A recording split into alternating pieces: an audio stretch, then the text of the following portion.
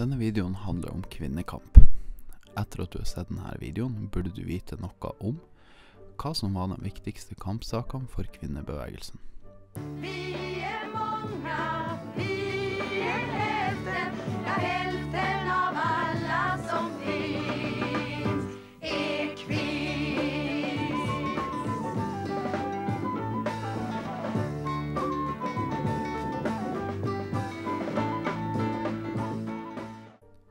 Norges første kvinnelige stortingsrepresentant dukka opp på Stortinget i 1945.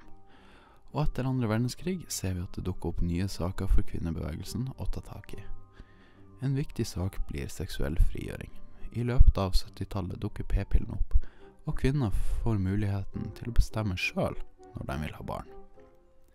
I Vesten lå fokuset på å få betalt for arbeidet husmødre gjorde i hjemmet, det var et krav som man etter hvert fikk gjennom. Situasjonen var en helt annen i Øst-Europa, der kvinner deltok aktivt i alle sektorer i arbeidslivet. Etter hvert som kvinner blir mer og mer aktive i arbeidslivet, fremsetter det også krav om å få lik lønn for likt arbeid. Hvorfor deltar du i den demonstrasjonen? Jeg ser i ikke det seg selv. Jeg mener at bl.a. Uh, seksualundervisning og undervisning er ganske viktig å kjempe for. Pluss arbeidsplasser og lik lønn for likt arbeid. Fordi jeg føler meg solidarisk med kvinner, ikke bare i Norge, men i hele verden. Noe vi tenker på som selvsagt i dag, måtte altså kjempes fram med nebb og klør før det ble vedtatt. Det kom også forbud mot å lyse ut jobbstillinger der man søkte kun kvinne eller menn. En av de viktigste politiske tekstene var Det annet kjønn, som ble skrevet av Simone de Beauvoir, som handla om at forskjellene mellom menn og kvinner kom fra kultur og ikke var biologiske. Det baner vei for nye måter å tenke på kjønnsroller, og har vært viktig for kvinnebevegelsen i Norge. Kvinnebevegelsen er fortsatt aktiv i dag, og har fortsatt mange aktuelle saker man jobber med.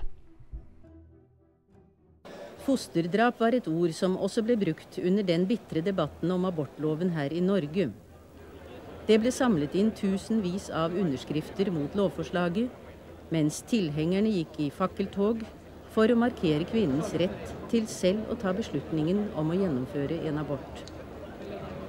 Etter mange og lange debatter vedtok Stortinget med en stemmes overvekt lov om selvbestemt abort, og den trådte i kraft 1.1.1978.